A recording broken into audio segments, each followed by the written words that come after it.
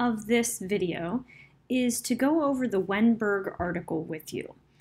As you see in this article, uh, which is in Google Drive, if you click on the yellow highlighted areas, as you can see, this first word, Alzheimer's, is highlighted.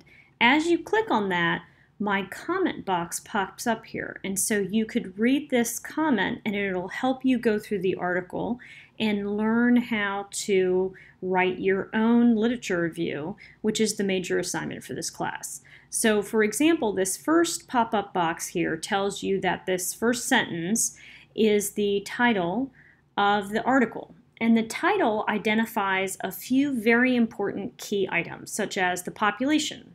So right off the bat, we know that the population discussed in this paper is caregivers.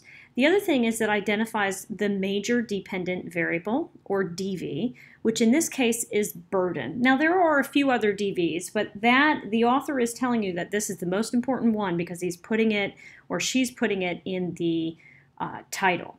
The other thing is it says intervention. Now it doesn't specifically mention um, an exact intervention, but it is telling you that what this article is going to be about is it's going to review um, interventions. The second bubble here uh, just tells you here's the authors of the paper. Um, then we move on to the abstract. The abstract is this whole paragraph um, right here. And so usually the, par the usually the abstract is about 200 words, but it also is a general summary of the whole paper. And again, it'll identify the IV, the DV, and other important things in the paper. And so, you know, for your uh, literature review for this class, you will also write uh, uh, an abstract. Here are some key words, but I'm going to move on. You can read all those bubbles, and that will help you go through the paper. But I want to move on and just focus on the introduction. So what you see here on my screen on page uh, 162 is the introduction. Once you go, move on to here to the risk factors, that moves on to the actual literature review for the paper. And so those are two different sections in the paper. You start off with the introduction and then you move on to the literature review for this Wennberg article. And so if we look at um, the first bubble here, the first thing that they do in the introduction is they identify the prevalence. Now in this case, Alzheimer's is not the DV. The DV is burden, and burden is a continuous DV, and that's important um, because you want to watch the other video on how to select a continuous DV because that's what we want you to do for this class.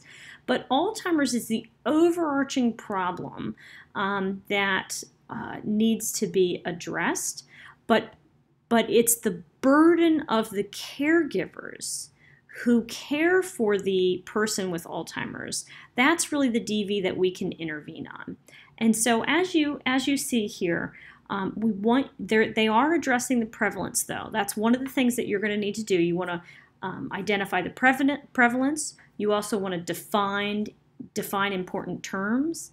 Um, like if you click on the third bubble here, informal Caregivers are generally family members, such as a spouse or adult child or a close friend of the care recipient.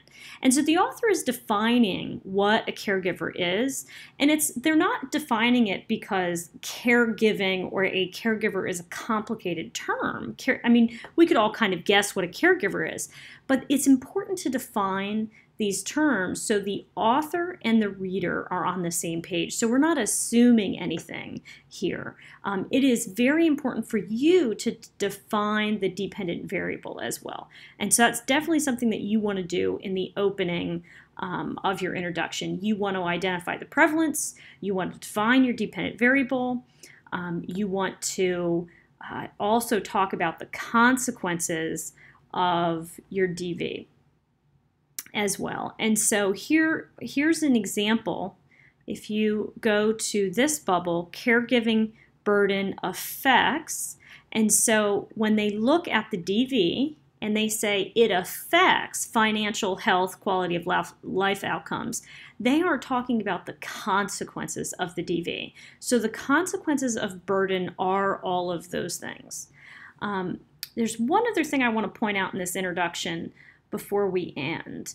So the final sentence in the introduction tells you what the paper is going to review. So it sort of looks you forward to the literature review and says, this is what we're going to go through. The, the last thing is uh, how many articles did just this introduction use to form the introduction? So I want you to think about that as you are writing your introduction um, for this class or your lit review. So this paper, the Wennberg paper, is your ideal model of how to write a lit literature review for this class. And so as you count up all those articles, I want you to think this is an A in terms of how many articles they cited here. Because the, the, the reason why that this is a very good introduction is it's brief, it's very succinct, it contains relevant content such as the prevalence, the definition of terms, consequences of the DV, but it's also because it cites a sufficient amount of research here supporting the ideas that are contained. So the goal when you're doing a literature review is not to come up with your own ideas and then find research to match. The goal is to review all the research and to synthesize the research in this brief introduction.